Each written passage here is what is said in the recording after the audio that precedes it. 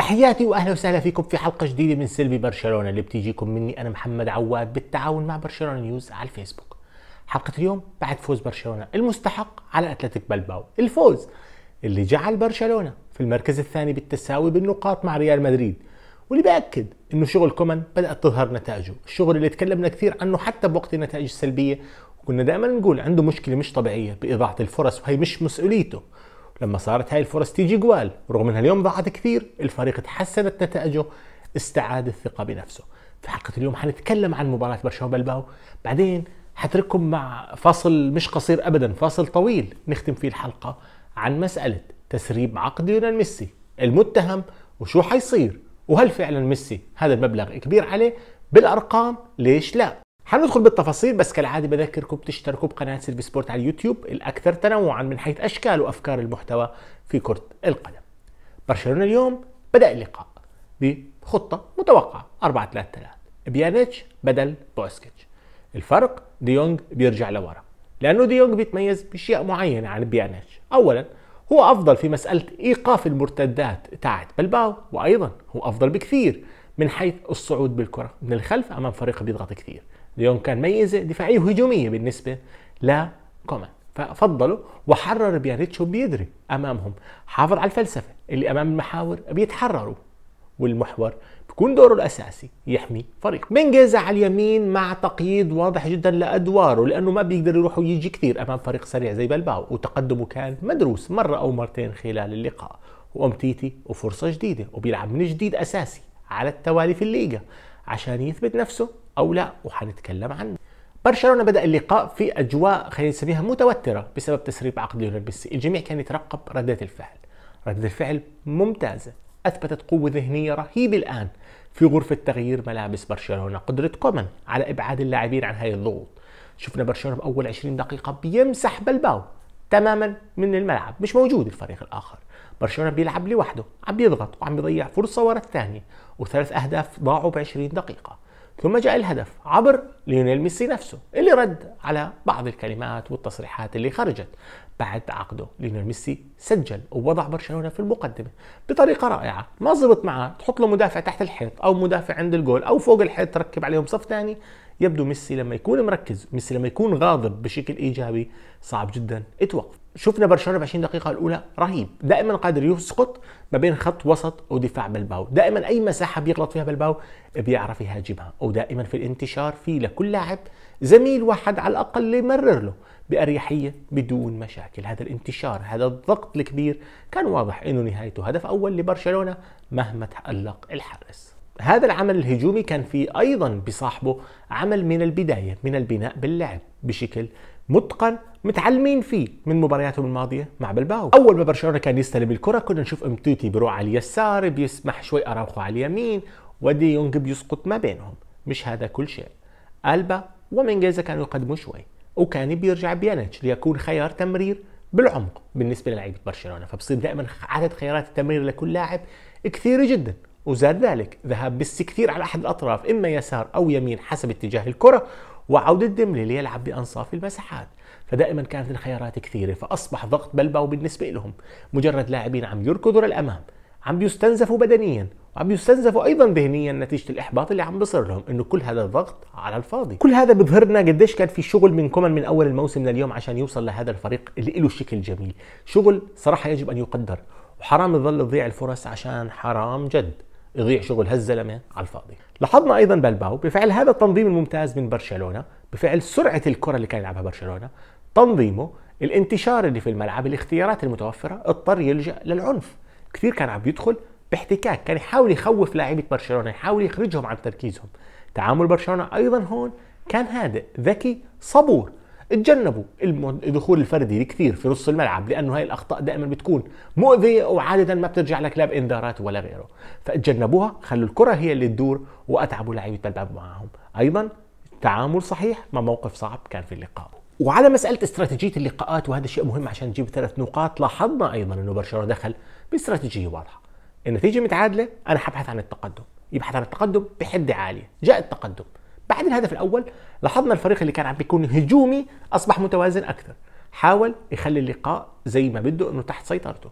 ونجح تماما بالشوط الأول بذلك. كان يستنى الفرصة الهفوه ويخلق فرص. لكن ما دون ذلك ما كان مضطر ياخذ مغامرة ياخذ تمريرات فيها نوع من المخاطرة.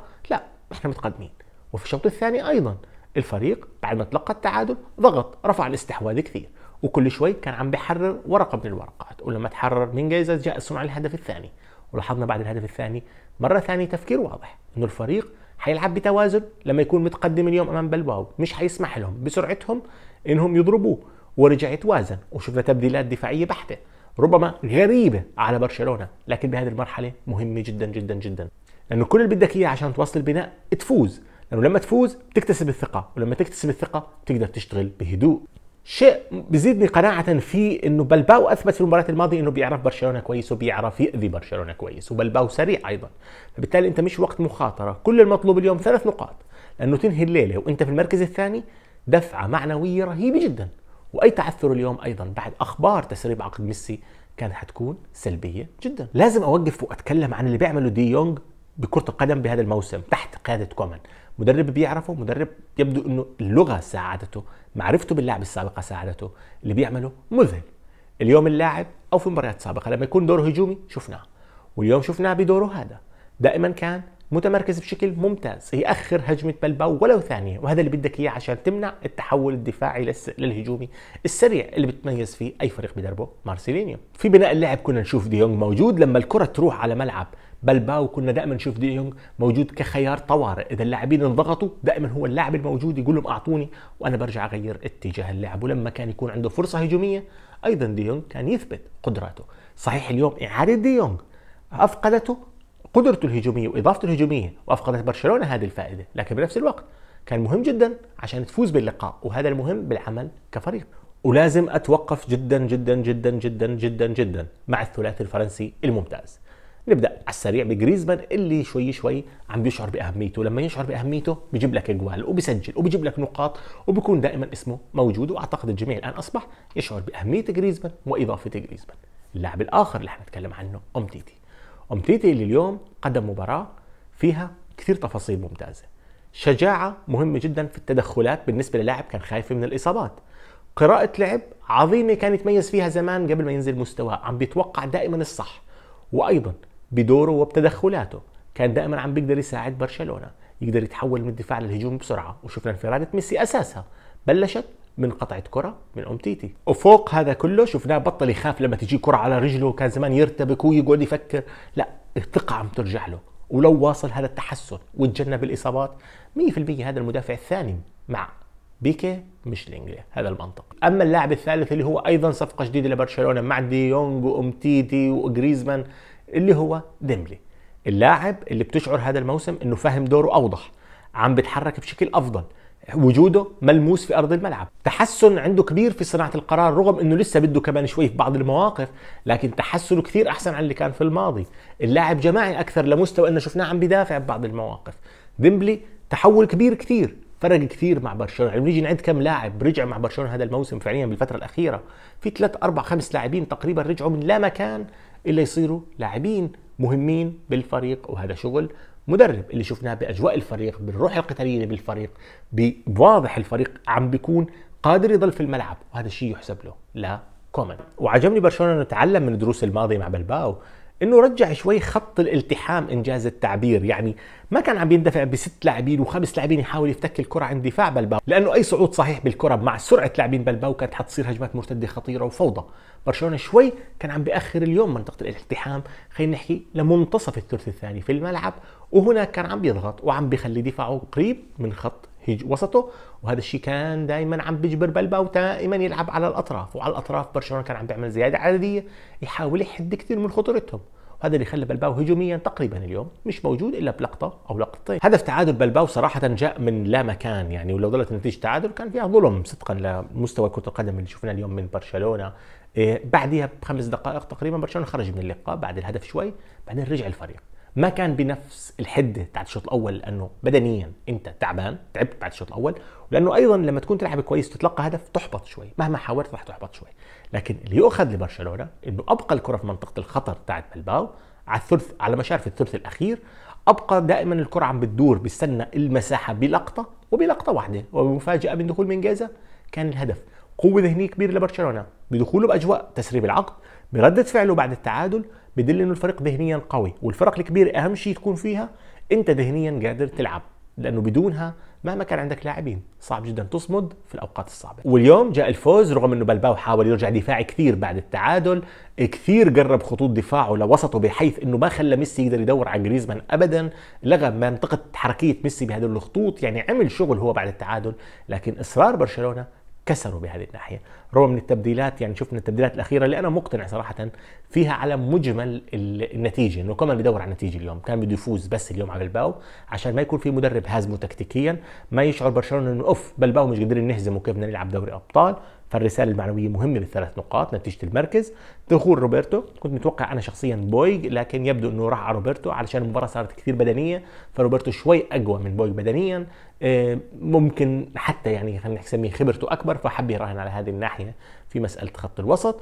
وربما كان يفكر أساسا في اللي عم بفكر فيه لو أنا تقدمت حيكون تبديلي اللي بعده بهذا الشكل الدفاعي استراتيجيتي الدفاعية بس بشكل عام أي مدرب تحكم على قراراته من النتائج. أخذ تبديلات جاب نتيجة هذا المطلوب. زي ما زمان كان لما ياخذ تبديلات غلط بوقت غلط نحكي غلط ونفس الشيء لما ياخذ تبديلات سواء غلط أو صح النتيجة هي اللي بتحكم وهذا اللي أخذه كومان اليوم. خلونا نختم بأهم خبر اليوم لبرشلونة تسريب عقد ليونيل ميسي. العقد اللي تسرب اليوم وصدم الجميع. حنتكلم عن كثير تفاصيل في هذا العقد. اولا هل هذا الورق صحيح؟ ثانيا مين اللي سرب؟ مين المستفيد؟ ثالثا هل هذا المبلغ جد كبير بالنسبة لليونيل ميسي؟ ورابعا شو نتائجه؟ شفنا اليوم صحيفة الموندو وهي مش الموندو ديبورتيفو مش صحيفة الكتالونية هي صحيفة إسبانية مدريدية.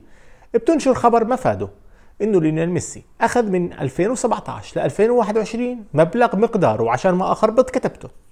555 مليون 237619 يورو. طبعا المشكلة زي ما أنتم شايفين بال 19 يورو مش بالباقيات. لا طبعا بالمبلغ الإجمالي. هل هذا الورق رسمي؟ نعم. هل هذا الرقم صحيح؟ تقريبا لأنه بعض الأحيان بتختلف فيه بعض المفاوضات بتصير. هل هذا العقد حقيقي؟ نعم. والدليل بيان نادي برشلونة. ما نفى إنه هذا العقد حقيقي. في حين هدد بمقاضاه الجريدة لأنه نشرت ورق رسمي. هل الصحيفة غلطانة؟ لا. لأنه أي حدا بيشتغل في صحف بيفهم جيدا شو يعني تحصل على ورق بهذه القيمة. هذا قرار يؤخذ من إدارة التحرير من رئاسة التحرير أنه ننشر حتى لو كان في مشكلة قانونية. صحيفة الموندو اليوم اسم بكل جريدة في العالم بكل لغة في العالم انكتب اسمها هذا استفادة إلها. ولما تشوف جريدة عامة الخبر الرئيسي فيها رياضة تفهم إنه هذا الخبر رياضي كبير. إذا الجريدة عملت اللي عليها وصلتها وثائق نشرتها. هذا أول موقف موقف صحيح ما عليهاش غلط هلا هل لو وصلها عقد مثلا تفاصيل نفرض سيرجيو راموس ولا بنزيما حتنشر؟ ما بنعرف. بس موقفها الطبيعي هي ما عملت شيء إلا مصلحتها وشهرتها. طيب مين اللي سرب؟ في كثير احتمالات أو كما يقال في أربع جهات. الجهة الأولى الليغا اللي عندها العقد. من المستبعد جدا تكون هي اللي سربت لأنه الليغا عم بتعاني الآن بعد خروج رونالدو من حيث المتابعة والاهتمام. فما راح تخلي بيئتها طاردة للغاية لمستوى إنها تطلع ليونيل ميسي اولا وتخلي النجوم الثانيين يخافوا. يعني إمبابي وهالاند وغيرهم صاروا يقول شو مودينا؟ هدول ما احترموش لا ميسي ولا غيره. شو إحنا بده يصير فينا لو رحنا؟ فبالتالي لا خلينا نرجع خطوة لورا. وهذا الشيء للعلم عاشته الكرة الإيطالية في فترة من الفترات لما كانت جنة كرة القدم. الصحافة صارت تتحارب بشكل شديد ما بينها وصارت تطلع كثير مشاكل للاعبين. دفعت بعض اللاعبين يرحلوا دفعت بعض اللاعبين يرفضوا يجوا لجوا محتد لهذه الدرجة. فهذا أولا بستبعد رابطة الليغا مكتب المحاماة أيضا بستبعده. ليش؟ لأنه لو ثبت أنه هو اللي سرب العقد مكتب المحاماة التغى تماما. حيرفع عليهم قضايا ميسي وبرشلونة وعلى الأغلب حينهوهم كشركة وتنتهي الشركة القانونية هذه. فمستحيل يغامروا بمصير مؤسسة كاملة عشان خبر. بضل عندنا طرفين. شيء من إدارة برشلونة أو ليونيل ميسي. نروح على شيء من إدارة برشلونة. شو فيها مشكلة؟ فيها بارتوميو ورجال بارتوميو وفيها بارتوميو اللي أكيد معه نسخة من العقد واللي أصبح هو ورجالاته عندهم ثار حقيقي مع ليونيل ميسي. عندهم ثار حقيقي مع الرجل اللي طردهم مع الرجل اللي بيعتبروه هم من وجهة نظرهم شوه سمعتهم. فخلينا نفهم الناس إنه عملنا اللي علينا وأكثر معاه لمستوى أعطيناه أكثر من نص مليار يورو ما بين 2017 2021 اللي ما فاز فيهم بدوري الأبطال. هذا الطرف يبدو الأرجح سواء بقي أو كان عنده نسخة قديمة لكن في طرف آخر ليونيل ميسي. ومع إني بس تبعده بس في وجهة نظر بتقول الاتي ليونيل ميسي تلميحات الأخيرة بالفترة الأخيرة من نيمار ومن غيره باريدس ولعيبه الارجنتين اللي في سان جيرمان وتلميحات سان جيرمان يبدو إنه خارج أكثر من إنه ضايل. رايح بغض النظر فاز لابورتا ولا غيره. طيب أنا بدي أطلع. إحدى الأشياء اللي بعملها بخلي الخبر ينتشر. منه بقول والله شايفين آه، سربوا عقدي وأنا زعلت وشكرا. هذه مستبعدة. لكن أيضا احتمال ممكن 10% بس الاحتمال اللي حكيته قبل هو ال 90% هل المبلغ كبير؟ يوما ما في إحدى المؤسسات اشتغلت مع واحد من أهم المستثمرين في الإمارات. وهذا الرجل يعني رجل ما شاء الله ربنا فتح عليه يعتبر من الأغنى في المنطقة العربية كان دائما يظل يقول لي جملة محمد مدير المبيعات الشاطر بندفع له وادفع له شو ما يطلب لأنه مدير المبيعات الشاطر بيدفع راتبه. بالأخير بيجيب لك أكثر حتى مما بتعطيه وليونيل ميسي هو مدير المبيعات الشاطر كثير اللي بيجيب لك الفلوس الكثير. مثلا رجعت أنا لما يسمى دوري ديلويت لكرة القدم اللي هو دوري التصنيف المالي للأندية من حيث الدخل مع استبعاد دخل مبيعات اللاعبين وشرائهم يعني تبيع لاعب وتشتري لاعب. برشلونة ما بين 2009 لما نزل ميسي طلع. ل 2020 يعني السنة الماضية. نما دخله بنسبة 272% مقابل إنه أندية جبارة ماليا مثل مانشستر يونايتد. نما دخله 219% برشلونة 272 طيب ريال مدريد فلورنتينو بيريز عبقري الاقتصاد وكريستيانو رونالدو معهم وكل هالأسماء. 207% نما دخلهم بفترة وجود ميسي. يعني برشلونة أكثر منهم ب 65% وطبعا جميعنا عارفين إنه سبب نمو هذا الدخل هو وجود ليونيل ميسي. في إحصائيات ودراسات بس مش كثير مباشرة بتقول الآتي إنه ميسي بشكل ما يقارب ربما 20 ل 25% من دخل برشلونة السنوي. يعني ميسي ممكن بياخذ 50 بس بدخل 200 ميسي ممكن ياخذ 100 بس بدخل 250 يعني ميسي بيطلع ماخذ من شيء هو جايبه. هو حرفيا مدير المبيعات الشاطر اللي كان يحكي لي عنه يوما ما مالك شركة اشتغلت فيها. هل الرقم كبير؟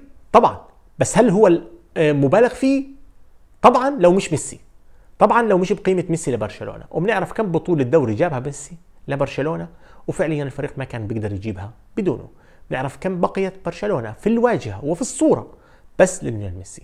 بنعرف كم في حدا من اللي بيشوفوني الآن في كرة القدم. بيشوفوا سلبي برشلونة معنا من اللي بلشت من 2014 عم بحضروا كرة قدم بس عشان ليونيل ميسي. وبنعرف كم واحد. عم بيشاور نفسه إنه لما يطلع ميسي من كرة القدم حطلع معه وأعتزلها معه. فالمفهوم الرقم هيك تشوفه لوحده أوف مرعب غريب. خاصة الآن في إسبانيا حيكون تأثيره سلبي عشان الآثار الاقتصادية لجائحة كورونا. بس في الحقيقة ميسي جاب وأعطى. وبمقابل هذا أخذ. هذه طبيعة الدنيا زي ما بنعرف. بس بشكل عام هذه هي مصيبة برشلونة. إنك بتشعر داخل النادي حتى من عهد لابورتا. ومن قبل يعني من عهد لابورتا لليوم. داخل برشلونة في تيارات مش تيار واحد. مش موحد جدا. من حيث الفكر من حيث التعامل من حيث رؤية اللاعبين. في تحس زي صقور وحمائم زي ما بنسمع بالسياسة ديمقراطيين وجمهوريين. بتحس هذا الشيء في داخل النادي. بتحس هذا النادي مش فعليا متحد. ورغم إنه في قضية كبرى بتلمه اللي هي القضية السياسية لكن حتى القضية الكتالونيه يبدو إنها ما بتلم الجميع كما كانت تلمهم زمان. يعني في وجهات نظر بالتعامل معها في وجهات نظر بالتعامل مع برشلونة كمؤسسة كهيئة. ما بين واحد بيشوفها كشركة وواحد بيشوفها كنادي كرة قدم بيمثل الإقليم الكتالوني. في اختلاف بوجهات النظر وهذا اختلاف بوجهات النظر كان يتسلل. لمستوى كنا نشعر بعض الرؤساء السابقين منهم لابورتا. بيستنى برشلونة يخسر عشان يغرد. وبعض الأحيان لما يفوز برشلونة بيختفي مع إنه لابورتا بلا نقاش يحب برشلونة ويحب أن يرى برشلونة يفوز. لكن الحسابات المعقدة داخل هذا النادي واضحة وبتظهر بشكل واضح مع النتائج لما تتراجع. شو تأثير تسريب هذا العقد على رحيل ليونيل ميسي؟ إذا كان احتمال رحيل ليونيل ميسي 50% قبل التسريب الآن بنتكلم عن 80 90% لأنه زي ما حكيت واحدة من الاثنين. يا سربوا نادي برشلونة وهي النهاية لميسي أو إنه سربوا ميسي عشان يقول أنا بدي أطلع مع إني زي ما برجع أقول أنا بستبعد الخيار الثاني بس احتمال مفروض موجود في كرة القدم. بكل الأحوال اللي صار خلى ميسي يقتنع اليوم إنه يا أخي أنا شو جابرني في آخر سنة سنتين أعيش هالناس تطاردني أعيش هالناس تقدر تطلع تحكي أنت بتاخذ فلوس كثير. وينسوا إنه لولاي النادي ما وصل معاه هاي الفلوس اللي بيدفع لي إياها. ما وصل معاه الراتب هذا ما وصل معاه هذه الشهرة ما وصل معاه إنه الآن نادي برشلونة بيخطط لمشاريع مش رياضية. لمشروع برشلونة digital اللي بده يحاول يطلع فيه مسلسلات كرتون وأفلام ويصير يبيع هوليوود ونتفليكس وسينما وكل هالقصص. بدوني ما كان حيصير هذا الشيء. بينسوا إني أول ما بلشت ألعب كان في دوري أبطال واحد معهم الآن معهم خمسة. وب 2006 أنا ساهمت بشكل أو بآخر على الأقل يعني ظهرت في كم من مباراة وطردت لاعب تشيلسي وقدت الفريق يعني. ساعدتهم صح كان رونالدينو النجم الأول بس ساعدتهم بس 2009 و11 و15 لا نقاش. بدوني كانوا بعاد. بينسوا كم دوري جبت بينسوا كم هدف جبت كم رقم قياسي تسجل باسم برشلونة. عشاني. بينسوا. هذا اللي بيعيشه ميسي. بيعيش حاله. ما تقارب نكران الجميل. ما بيقدر يميز وما بتقدر تطلب من الإنسان ميز يا أخي هدول جماعة وهدول جماعة. ما بقدر. أنت روح اشتغل بشركة. وخلي هذه الشركة تتغير إدارتها وتجيك إدارة ثانية تكون أنت معطيهم سبع سنين وأنت اللي فعليا على كتافك إن قامت الشركة. ويبلشوا يتدخلوا فيك. والله بتجينا 8 وربع وبتجينا 8 ونص لو تيجي على 8 بكون أحسن.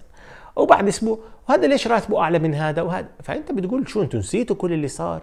ما بتميز إنه هي فترة إدارية فحيرحل فأعتقد تسريب عقد ميسي خبر سيء جدا لأنه حيخوف كثير ناس يجوا على برشلونة السنة الجاي نتيجة الظروف نتيجة الأجواء. اللي شافوه مع جريزمان واللي شافوه مع جوميز واللي شافوه الآن الناس حتخاف. وبنفس الوقت لما يشوفوا ميسي بصير فيه هيك الناس حتخاف أكثر وأكثر وأكثر. للأسف تسريب مش حلو بحق لاعب. لولا أنا بحكي لكم ما في سر ببرشلونه كان. يوما ما. إحنا بنعرف يعني ميسي ورونالدو ساعدونا كثير. إحنا اللي في الإعلام في المجال الاعلامي ولا لو أنا خلص ضليت في الصحافة والإعلام الرياضي بشتغل لحاله وبكتب وخلص وخلصت. لكن كلنا استفدنا. برشلونة استفاد والجمهور استفاد وكرة القدم استفادت محمد عواد استفاد وكل الأصدقاء استفادوا. فهذه هي الطبيعة وللأسف النهاية زي ما حكيت مؤلمة كما يبدو. نوصل هون نهايه حلقة سيلفي برشلونة اللي بقدمها أنا محمد عواد. وموجود فيسبوك تويتر إنستغرام تيك توك إذا بدكم كمان وبتشتركوا الآن في قناة سيلفي سبورت على اليوتيوب. والسلام عليكم ورحمة الله.